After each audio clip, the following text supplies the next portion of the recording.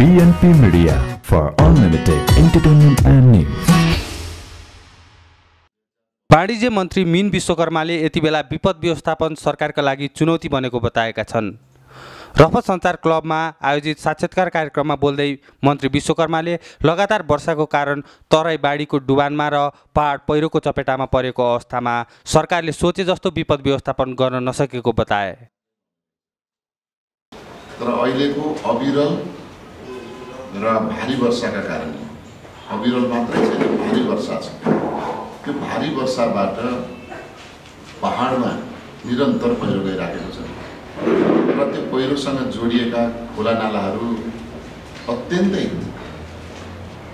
ठुलो रूपमा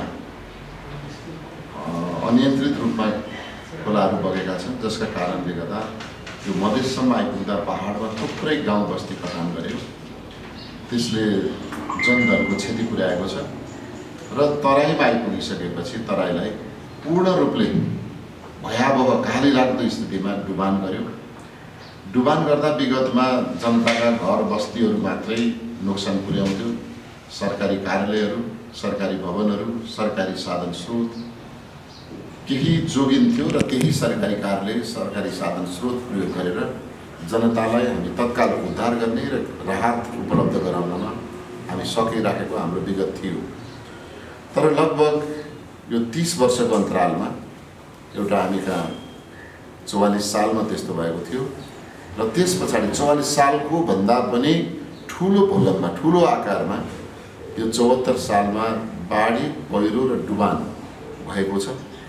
यसले सरकारको नियन्त्रण र सरकारको काबुभन्दा अकल्पनीय रूप लियो। म यहाँलाई स्पष्ट पारौँ। पहाडको पहिरोबाट बाटोहरू अवरुद्ध भयो। आफ्नो घरबासमा पुग्न जनता सकिराखेका छैनन्।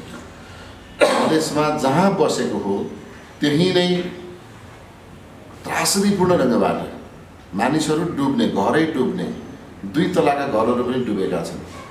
र मानिसका खाने लाउने बस्ने चलाउने सवारी साधन केही पनि आफ्नो बसमा छैन। र आफ्नो ज्ञानमा जानकारीमा पनि नभएको अवस्था भइराखेको छ। त्यसैले यो अत्यन्तै कहाली लाग्दो विपदमा परेर ज्यान गुमाउने सम्पूर्ण नेपाली जनताका छोराछोरीहरूको ज्यान ज्यान गयो। उहाँहरूको दुःखद घटनाप्रति म हार्दिक श्रद्धाञ्जली अर्पण गर्न चाहन्छु। घाइते र विस्थापितहरूको तत्काल उपचार गर्न तत्काल उद्धार गर्नका लागि र उनीहरूलाई यथासम्भव राहत जुटाउनका लागि हामी नेपाल सरकारको तर्फबाट अहोरात्र हिजो राति पनि हामी प्रधानमन्त्री कार्यालयमा निवासमा बसेर केन्द्रीकृत ढङ्गबाट सबै सरकारका सबै संयन्त्र परिचालन गर्ने हामी प्रयास गरिराखेका थियौँ। तर अब स्वाभाविक हो सवारी साधन सबै हाइवेहरू भत्किएको छ हाइवेका पुलहरू भत्किएका छन्।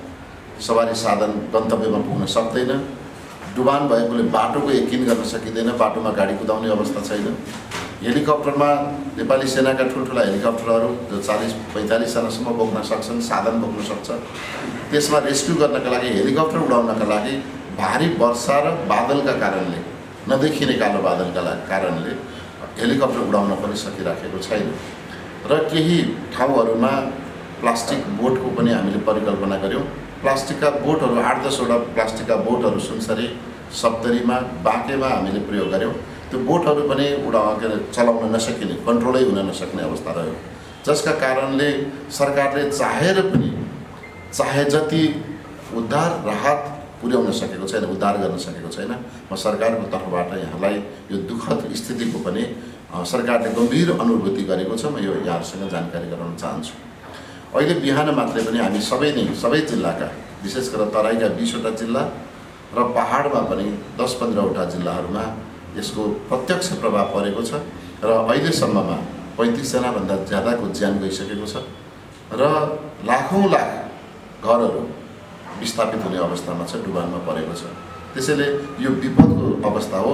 आज पाँच बजे मन्त्री परिषदको आकस्मिक बैठक बस्दैछ। हामी यसलाई यो विपद स्थितिको घोषणा गरेर सरकार अर्ध सरकार सरकारी अर्ध सरकारी गैर सरकारी र आम नागरिकहरू जो जहाँ सुरक्षित हुनुहुन्छ थप अर्कोलाई मद्दत गर्नका लागि र राष्ट्रिय अन्तर्राष्ट्रिय सहयोग जुटाउनका लागि हामी आह्वान गर्नेछौँ। मलाई यो विश्वास छ हामी भगवान्को कृपाले अथवा भगवान्को शक्ति प्राप्त गरेर हामी सबै नेपाली नागरिकलाई समयमा उद्धार गर्न सकौँ। बाँचेकाहरूलाई थप उनको जीवन सहज बनाउनका लागि राहत सामग्री जुटाउन सकौँ र उनीहरूको बाँकी जीवन सहज बनाइदिनका लागि हामी सबै तरहका प्रयास गर्न सकौँ भन्ने म कामना पनि गर्दछु। दोस्रो कुरा सुशीलजीले उठाउनु भएको छ अब यो यसले निर्वाचनलाई अवसर पार्छ कि पार्दैन। स्वाभाविक हो हाम्रा बिचमा राजनीतिक विमतिका कारणले राजनीतिक सहमति जुट्न नसकेका कारणले निर्वाचन नै शङ्काको घेरामा थियो। निर्वाचन दुई नम्बर प्रदेशमा हुनसक्छ कि सक्दैन भन्ने थियो। थप अब दुई नम्बर प्रदेश मात्रै होइन सातैवटा प्रदेशका मधेस र पहाडहरू बाढी पहिरो र डुबानले आक्रान्त भएको छ। यसले कतै कतै निर्वाचनलाई प्रभावित गर्न सक्छ तर हामी चाहन्छौँ नेपाल सरकारको तर्फबाट म भन्न चाहन्छु कि यसले निर्वाचनलाई प्रभावित नगरोस्। अझै हामीसित करिब करिब चालिस दिन बाँकी छ। यो चालिस दिनभित्रमा चालिस दिन पनि हामीसँग पर्याप्त छैन अझै चालिस दिन पनि छैन। पैँतिस दिन जति छ। यो पैँतिस दिनभित्रमा यो हप्ता मौसम आफ्नो पुरानै अवस्थामा मौसम फर्कियो भने अथवा मौसम सामान्य अवस्था स्थितिमा परिवर्तन भयो भने फेरि निर्वाचन आयोगका सरकारका सुरक्षाकर्मीका सबै संयन्त्रहरू त्यहाँ परिचालित हुन्छन् र निर्वाचन हामी सम्पन्न गर्न सक्छौँ भन्ने लाग्छ। निर्वाचन सम्पन्न गर्नका लागि विगतमा भएको केही विमति मध्येमा राष्ट्रिय जनता पार्टी ले केही मागहरू राखेर सरकारसँग विमति जनाइराखेको थियो? र संविधान संशोधन भएन भने वा मधेसमा जनसङ्ख्याको आधारमा स्थानीय तहका इकाइहरू थप भएनन् भने हामी निर्वाचनमा जाँदैनौँ भनिराखेको थियो। तर इकाइहरू थप्ने कुरा अदालतमा विचाराधीन थियो। अदालतले पनि एउटा निकास दिएको छ। अब निर्वाचन गर्न बाँकी रहेका ठाउँहरूमा माग बमोजिम अथवा सरकारको मापदण्ड अनुसार हामी इकाइ थप्न सक्ने भएका छौँ। त्यो पनि राजनीतिक बन्दोबस्त गरेर सरकार अगाडि बढ्छ। र दोस्रो कुरा अब संविधान संशोधन भएन भने जाने कि नजाने भन्ने कुरामा राजपा केही लचिलो भएको छ। संविधान संशोधन गर्नका लागि सरकार हर तरहको प्रयास गर्नेछ। मैले पहिले पनि यही रोस्टमबाट भनेको छु। यही यहाँहरूका बिचमा मैले मेरा कुरा राखेको थिएँ कि सरकार संविधान संशोधनको दोस्रो विधेयक दोस्रो संशोधनको विधेयक पारित गराउनका लागि हर तरहले प्रयास गर्छ। दुई तिहाई बहुमत पुर्याउनका लागि। हर तरहले पुर्याउँदै गर्दा यति यति धेरै तान्ने कि चुट्टिने गरी नतान्ने। चुट्टिने गरी तान्न सरकार तयार छैन। सरकार नौ प्रतिशत असन्तुष्टिलाई व्यवस्थापन गर्न हामीलाई झन्डै अठार महिना लाग्यो भने अब बाँकी रहेको अर्को तिस प्रतिशत पच्चिस तिस प्रतिशत भनौँ न प्रमुख प्रतिपक्षमा झन्डै तिस प्रतिशत छ। त्यो तिस प्रतिशतलाई व्यवस्थापन गर्न पनि उत्तिकै आवश्यक भएको हुनाले प्रमुख प्रतिपक्ष दललाई पनि विश्वासमा लिएर संविधान संशोधनको प्रस्ताव पारित गराउन सरकार चाहन्छ त्यसो भएको हुनाले यदि दुई तिहाई पनि पुगेन सर्वसम्मत पनि पुगेन भने म यहाँकै यो लोकप्रिय सञ्चार माध्यमबाट रफत सञ्चार क्ल- क्लबमा यहाँबाट म अनुरोध गर्न चाहन्छु कि राष्ट्रिय जनता पार्टी लगायतका दलहरू निर्वाचनमा भाग लिउँ र यसैलाई मुद्दा बनाएर जनताका बिचमा जाउँ हाम्रो दुई तिहाई नपुगेका कारणले साझेदार दलहरूसँग सहमति हुँदाहुँदै पनि दुई तिहाईको सङ्ख्या नपुगेको कारणले हामी निर्वाचनमा संविधान संशोधन गरेर जान सकेनौँ। अब निर्वाचनमा हामीलाई बहुमत दिनुहोस् कङ्ग्रेसलाई बहुमत दिनुहोस् कङ्ग्रेसको पक्षमा मतदान अभिमत जाहेर गर्नुहोस् हामी संविधान संशोधन गर्नका लागि निरन्तर प्रयासरत रहनेछौँ र गन्तव्यमा पुरै छाड्नेछौँ भन्ने म प्रतिबद्धता व्यक्त गर्न चाहन्छु। सँगसँगै राष्ट्रिय अन्तर्राष्ट्रिय परिवेशले नेपाललाई केही प्रभाव पार्छ कि भन्ने कुरा पनि छ। म यहाँहरूलाई अनुरोध गरौँ। अहिलेको यो सरकार गठन भइसकेपछि र भर्खरै निवर्तमान भएका पुष्पकमल दाल प्रचण्डको नेतृत्वको सरकारमा विगतमा भएको मित्र राष्ट्रसँगको सम्बन्ध चिसिएको थियो। त्यो चिसिएको सम्बन्धलाई हामीले एउटा न्यानो वातावरणमा अथवा सन्तुलित अवस्थामा र दुई देशबिचको सम्बन्धलाई सुमधुर बनाउनेमा हामी सफल भएका छौँ। हाम्रोमा हाम्रो राष्ट्रपतिले भारत भ्रमण गर्नुभएको छ। अब भारतमा नेपालका प्रधानमन्त्रीले फेरि भारत भ्रमण गर्नुहुनेछ मित्र राष्ट्रको भ्रमण गर्नुहुनेछ छिमेकी मित्र राष्ट्रको। र सँगसँगै अर्को पनि सुखद सुनाउँछु चिनका उत्तरतर्फका मित्र राष्ट्र चिनका उप प्रधानमन्त्री नेपाल आउँदै हुनुहुन्छ चाँडै र उहाँ नेपाल आइसकेपछि दुई देशको सम्बन्धमा केही देखिएका अप्ठ्याराहरू छन् भने पनि हामी सुल्झाउने प्रयत्न गर्नेछौँ र हामीसँग छिमेकी राष्ट्रहरूको सम्बन्ध राम्रो हुनेछ। देशभित्रको राजनीतिक सहमति बन्नेछ तर यो बिचको जुन विपत्ति आइलागेको छ यो विपदको व्यवस्थापन पनि हामी सत्तापक्ष प्रमुख प्रतिपक्ष आम जनता र मित्र राष्ट्रहरूको पनि सहयोगमा हामी नेपाली जनतालाई यो विपदबाट बाहिर निकाल्नका लागि र बाहिर निस्किसकेपछि थप जीवन सहज बनाउनका लागि हामी सामूहिक प्रयत्न गर्नेछौँ। भगवान्सँग यो प्रार्थना गरौँ। हामी सबै मिलेर भन्दै म यहाँहरूका बिचमा मेरो जिज्ञासा यहीँ मेरो प्रस्तुति यहीँ टुङ्ग्याउँछु र केही जिज्ञासा भए यहाँहरूबाट म थप प्रश्न पार्नेछु। जस्तो अहिले नेपालकोमा भएका नेपालको सीमामा रहेका जुन पुलहरू छन् भारतसँग ती केही बाँधहरू नखोलिदिँदाखेरि झन् डुबानमा परेको छ नेपाल सरकारले कुटनीतिक पहल गर्न सकिराखेको अवस्था छैन भन्ने छ। के छ नेपाल सरकार कस्तो सोचिरहेको छ कुटनैतिक पहल भनेको प्रयास हो यो। यो प्रयासलाई हामी दुई किसिमले लिन्छौँ। एउटा अलिक प्रभावकारी प्रयास भयो कि भएन भन्ने कुरामा यहाँले सुन्नुभएको छ यहाँले नै सार्वजनिक गर्नुभएको छ। नेपाल सरकारका परराष्ट्र मन्त्री कृष्णबहादुर महराले हिजो पनि निरन्तर भारतीय पक्षसँग कोसीको बाँधका ढोकाहरू त्यहाँ छप्पन्नवटा ढोका छन् छप्पन्नवटा ढोकामध्येमा सबै ढोका खोल्नका लागि अनुरोध गरियो तर यो यस्तो हुँदो रहेछ विपदमा यो विपदबाट हर भाग्न खोज्छ जोगिन खोज्छ त्यो ढोका नखोल्दा नेपाल डुबान हुने ढोका खोलिदिइसकेपछि बिहार बगाउने यो दुइटै पक्ष उस्तै उस्तै छ। त्यसैले भारत पनि आफ्नो सतर्कता अप्नाइराखेको छ हामी पनि हाम्रो सतर्कता अप्नाइराखेका छौँ। त्यसैले समझदारीमा केही ढोकाहरू खुल्दै गएका छन्। पहिले चौतिसवटा मात्रै ढोका खुलेका थिए अहिले सैँतिसवटा ढोका खुलिसकेको छ। र बिस्तारै बिस्तारै अब त्यो थप ढोकाहरू खुल्दै जान्छ र त्योभन्दा कोसीभन्दा दक्षिणतर्फका पक्षहरू पनि आफू सतर्कता अप्नाउँदै केही त्यसको चाहिँ निकासहरू उनीहरू बढाउँदै गइराखेका छन्। सँगसँगै पश्चिमतर्फको कुरा गरौँ। बाँके बर्दियाको कुरा गरौँ। बाँके बर्दियामा पनि अहिले केही विकासका कुराहरू नयाँ विकास जुन हामीले सुरु गऱ्यौँ त्यसले प्रकृतिलाई बन्देज लगायो कि स- राजमार्ग हामीले बनायौँ। हुलाकी राजमार्ग बनाउँदाखेरि त्यसले केही हाइट अल्गो बन्ने भयो भारततर्फ पनि बन्यो नेपालतर्फ पनि हुलाकी राजमार्ग हुलाकी राजमार्ग बनाउँदै गर्दा त्यसले लिएको आकारका कारणले पनि नेपाल नै डुबान भयो भन्ने मैले अहिले भर्खरै पनि बिहान सूचना प्राप्त गरेको छु। त्यसैले केही भौतिक संरचनाका कारणले पनि विदेशी भौतिक संरचनाका कारणले होस् वा हामीले बनाएको भौतिक संरचनाका कारणले होस् त्यसलाई असर परेको छ डुबानको कारण बनेको छ। अब यसको अहिले तत्काल कारण खोज्ने भन्दा पनि तत्काल यसको राहत र उद्धारको उपाय खोज्ने हो हामी यतातर्फ लाग्छौँ। जहाँ चाहिँ मित्र राष्ट्रका सँगको सम्बन्धका कारणले होस् वा बाहिर बाहिर देशको सम्बन्धको कारणले हो भने हाम्रो कूटनैतिक प्रयासमा कुनै पनि कमी भएको छैन। यसमा अहिले हिजो रातिसम्म पनि प्रधानमन्त्री सम्मान्य प्रधानमन्त्रीज्यूले मान्य उपप्रधान तथा परराष्ट्र मन्त्रीज्यूले गृहमन्त्रीज्यूले प्रयास गरिरहनु भएको छ। हामी मन्त्री परिषदका सबै सदस्यहरू एक ठाउँमा बसेर पनि उपाय खोजी गरिराखेका छौँ। त्यसैले अहिले हामीले यो आपद विपदमा कसैलाई कसैका कारण देखाएर जस्तो कुनै घर आगो लाग्यो भने यो घर कसले आगो लगाएको हो भनेर बहस गर्ने होइन। घरपट्टि तत्काल निभाउने आगो लागिबाट निभाउने हो। अहिले हामीसँग विपद छ विपदको पहिलो व्यवस्थापन गर्ने हो। त्यस पछाडि कारणको खोजी गर्ने। अहिले विपदका बेलामा कारण खोजी खोजी गरेर द्वन्द्व बढाउनु ठिक हुँदैन भन्ने मलाई लाग्छ। विपद व्यवस्थापनमा सरकारको पूर्व तयारी नपुगेकै हो। पूर्व तयारी नेपाल सरकारको भूकम्पका बेला चाहिँ नपुगेकै थियो। तर अहिले चाहिँ बर्खा लागिसकेपछि बर्खा चाहिँ भूकम्प आकस्मिक आउने हो। बर्खा चाहिँ अनुमान गर्न सकिन्छ वर्षा याममा अनुमान गरिन्छ कि यतिसम्मको क्षति पुर्याउँछ भन्ने अनुमान हुन्छ र जिल्ला जिल्लामा सिडिओको नेतृत्वमा दैवी प्रकोप भन्छौँ हामी यसलाई। दैवी प्रकोपको व्यवस्थापन गर्नका लागि केही कार्यदल तयारी नै हुन्छ। त्यसमा नेपाली सेना रहन्छ सशस्त्र प्रहरी रहन्छ जनपद प्रहरी रहन्छ। र त्यति त्यो सतर राष्ट्रिय सतर्कता केन्द्रले पनि काम गरिराखेको हुन्छ।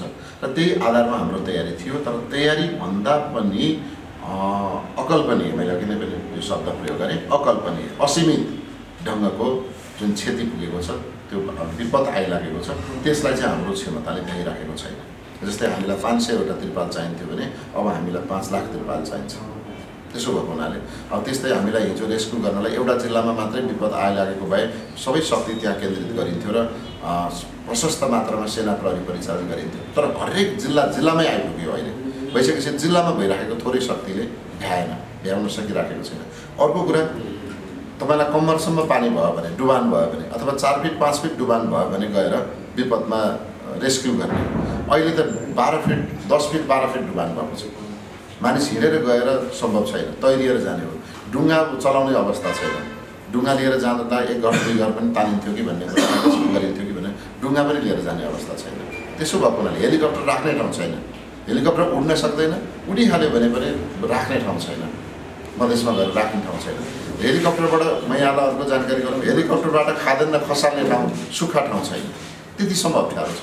त्यसो भएको हुनाले यो चाहिँ अनियन्त्रित र अकल्पनीय विपद आइलागेको छ।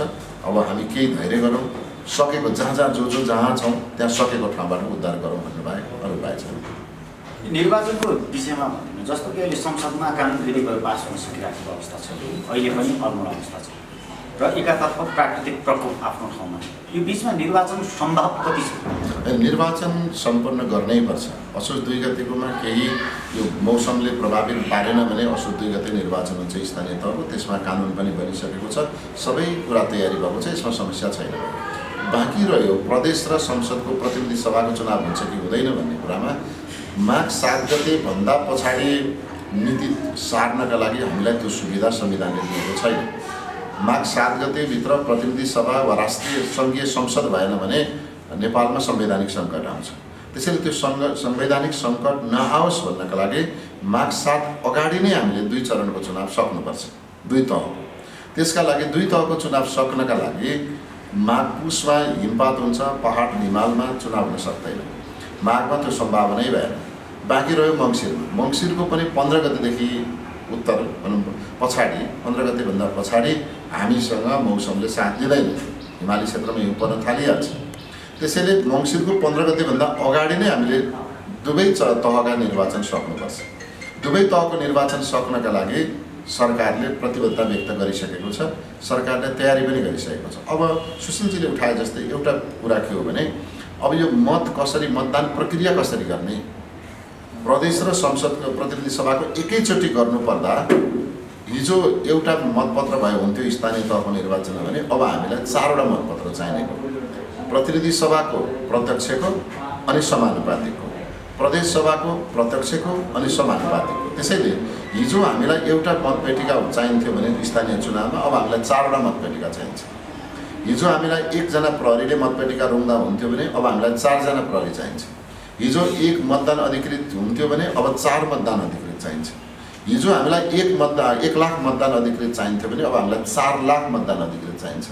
हिजो हामीलाई दुई लाख मतपेटिकाले पुगेको थियो भने अब हामीलाई आठ लाख मतपेटिका चाहिन्छ। इज इट पोसिबल सम्भव छ कि छैन? सरकारले निर्वाचन आयोगलाई सोध्यो। सम्मान्य प्रधानमन्त्रीले प्रस्ताव म यो गर्न चाहन्छु। सम्भव छ कि छैन भनेर सोध्नु निर्वाचन आयोग अलमल्ली राखेको छ। मिति चाहिँ घोषणा गर्नुहोस् न हेरौँला भनेको छ। हामी भन्दैछौँ मिति हचुवाको भरमा मिति घोषणा गरेर सरकार जनताका बिचमा अविश्वसनीय बन्न चाहँदैन। सरकार अब जे प्रस्ताव गर्छ त्यो मितिमा जसरी पनि निर्वाचन सम्पन्न गर्न चाहने भएको हुनाले पहिले निर्वाचन आयोग तम तयार बस्नु पऱ्यो अब निर्वाचन आयोगले बैठक बोलाइराखेको छ हामीसँग परामर्श गरिराखेको छ।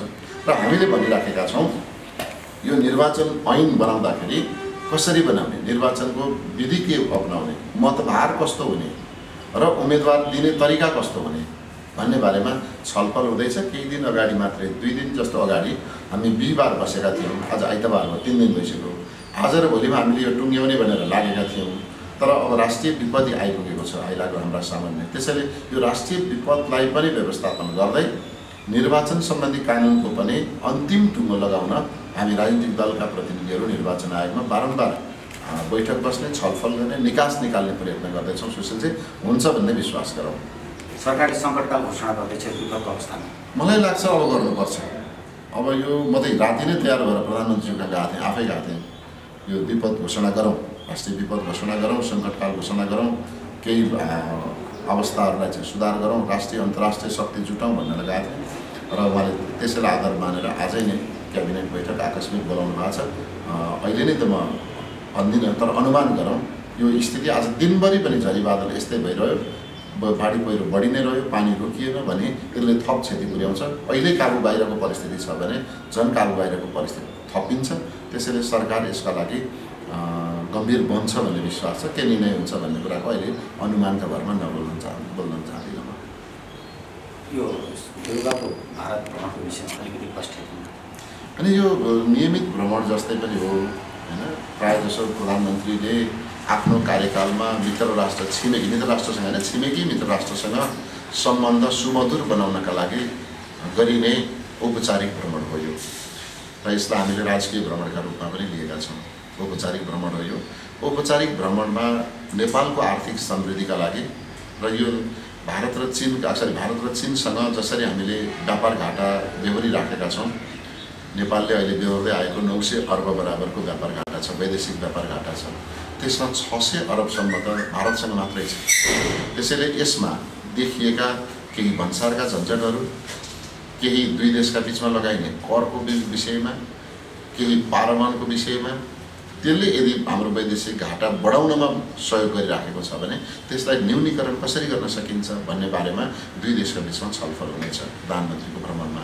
त्यसैले नेपालको समृद्धिका लागि नेपालको आर्थिक व्यापार घाटा कम गर्नका लागि र नेपालको हितमा मित्र छिमेकी मित्र राष्ट्रको सहयोग कसरी लिन सकिन्छ भन्ने बारेमा पनि दुई देशका बिचका प्रधानमन्त्री स्तरमा छलफल हुनेछ कुराकानी हुनेछ र केही विषयहरूमा सम्झौता पनि हुने सम्भावना छ।